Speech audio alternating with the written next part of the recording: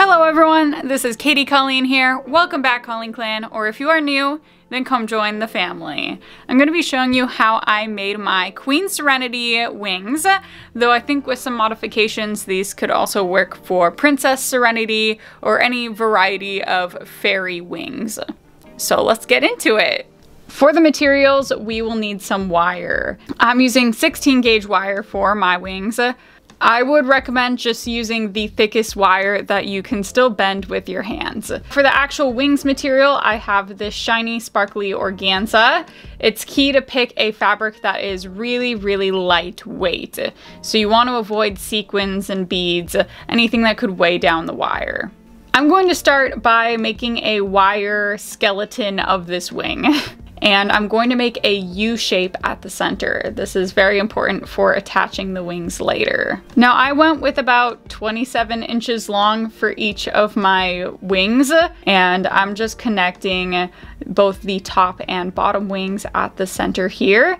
And since I am using two separate strings of steel, I am also making sure to wrap the wires around each other so it will act as one wing piece. After lots of wrapping and bending and reinforcing, it's going to look something like this. It kind of becomes this weird metal spider Doc Ock inspired look. Let's talk about attachments. So the way that these wings are going to attach is the little U shape that we made at the center is going to slide into the back of the dress, the shirt, the bra, whatever. With Queen Serenity's dress, she does canonically wear a strapless dress, so there is space to slide these wings into the back. Now that I got to see our wireframe in relation to a person, I decided it was a bit too long, so I ended up folding this back down. I felt like this was just a little bit too much for Queen Serenity. Once you have your wireframe how you like it, we can start working on the actual wings. So I'm going to get some paper to pattern our wings out and I'm gonna lay our wireframe on top of that and we can get to patterning. Honestly, this is way more of an art than a science. I'm just looking at the reference photo of Queen Serenity and deciding what shape I want these wings to be. Once we have a wing pattern, we can cut that out and then also cut it out in our fabric. Now I ended up adding a bit more seam allowance here as well, just to be safe, because the thing with fabric is it's much easier to cut it away than add it later. So I went with about half an inch of seam allowance all around my pattern.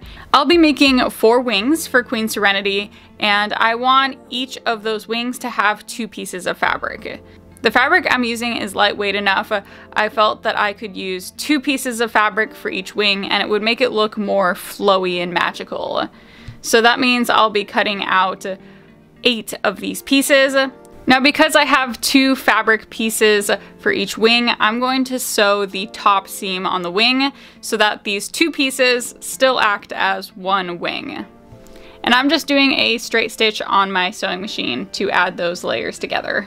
The fabric I chose for these wings does fray, and it is not a good magical look.